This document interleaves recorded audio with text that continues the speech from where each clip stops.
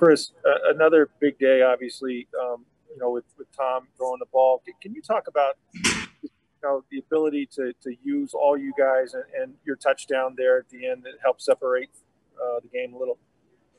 Yeah, um, I think um, when you look at the way our team is kind of constructed, is we have so many guys, so many options that are you know really really good threats. Um, and so it, it, makes it a little bit hard for defenses to, to really key on on one guy in particular. Um, and so you know it, it's really up to us to make sure that we get the ball spread around to guys you know that are hot and really able to to move the ball down the field. And I think over the first seven weeks we've been doing a really good job of that. You know, getting a whole, a whole bunch of guys involved and really just uh, I guess growing each week.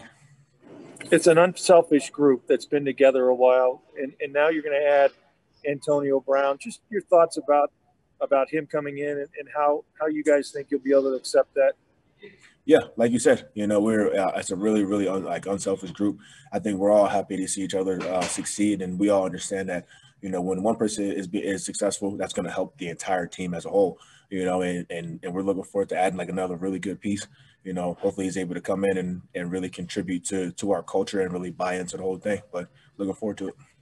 Thanks. Next question will come from Greg Auman. Hey, Chris, I just want to ask you about the calm in the fourth quarter. They, they kind of got 10 points in a row, got within four points, and what you guys did uh, in some tough third down situations to to get a touchdown, to pull it back away and kind of separate there in the fourth quarter. Yeah, it's um anytime you're playing a tough team like the Raiders, you know, who like they're really well coached and they play really hard. Um, you know, you can't you can't really give them much light because they'll really make a start to make a run. Um, and in this game of momentum, um, it, sometimes it can be really hard to stop that. But you know, we had a couple good defensive stops there, and then as an offense, a couple clutch third downs that we converted on. And so from that point, was we able to really separate. Um, but you know, it definitely wasn't easy. You know, they re- they really made us work for it. But I think these are going to be the types of games that that we, we kind of bank on. You know, moving forward. Thanks, Chris. Next question will come from Dan Lucas. Uh, Chris, I know you weren't on the field that night in Chicago, but you guys had a lot of trouble closing that game out, obviously. And uh, was that a wake up call, you think, for the entire team or, or maybe the offensive side of the ball? I feel like it, yeah, like it could have been. Um, I think when you look at you know that game, we were struggling a bit offensively, and you know really just to, to like you said to close out the game. So and I think we, I think our coaching staff have uh, have done a really good job of putting together game plans since then. And uh, I think as as players, we've accepted the challenge of you know being able to go in and play four quarters of football because like we're playing some really really good teams, and you know if we if we want to get to where we want to get to, we're like we're gonna have to do those things. And the sequence when you score you score the touchdown to get it back to eleven. You get an interception and a short field. All of a sudden, in less than a minute, you guys scored two touchdowns. Uh, how dangerous is this offense when you guys are trying to put a game away like this? I, I really think that there's no limit to what we can do offensively. Um, I just think that we have so many weapons. Um, but you know, it, it's it's not just us offensively. You know, our special teams are playing really good, and as you guys know, our defense is is really really good.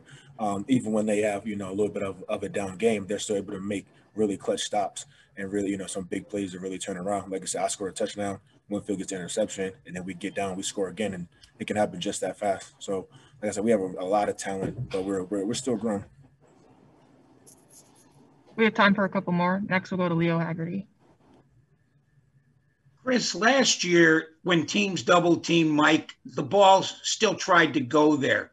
This year, you've scored 38 and 45 points the last two games, and Mike hasn't been a big part of it. How good is this offense going to be when defenses decide we can't double team Evans because we give up too many points? Uh, like like I was saying, I, really think our poss- the possibility um, is endless. Um, you know, I, I think Mike is such a you know he's such a great player that and they re- teams respect that so much. You know, I think that that he's the guy that teams are trying to take away, and like we'll let everybody else beat us. But like you said, we have been doing a really good job putting up points. Um, you know, with him not being uh, as productive, but I think you know the mentality that Mike carries. Um, and you know, on the sideline, he's happy to win, and I, and I know that he knows that his his time's going to come, and when his numbers call, he's going to be ready to answer the bell.